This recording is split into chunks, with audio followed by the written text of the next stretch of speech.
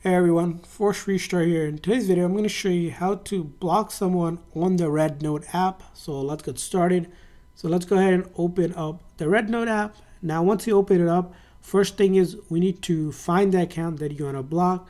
So you can either search for it, or if you have an account, you want to simply find that account. Once you find it, you want to go to that profile by tapping on their name or icon, and that will take you to their profile. Now, once you get to your their profile, in order to block them, you'll see there's three dots on the right hand top corner.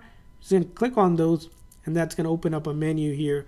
And then right here is the block option. So if I tap on that, it's gonna say he or she basically can view notes or interact with you and be blocked from receiving notification. They will not get a notification that you're they're being blocked. You're just simply blocking them.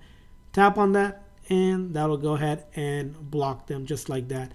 So that's how you do it. Simple and easy. I hope this video was helpful. If so, please consider like and subscribe button for more tips and tricks for your RedNote app that we'll be doing. We'll see you guys next time.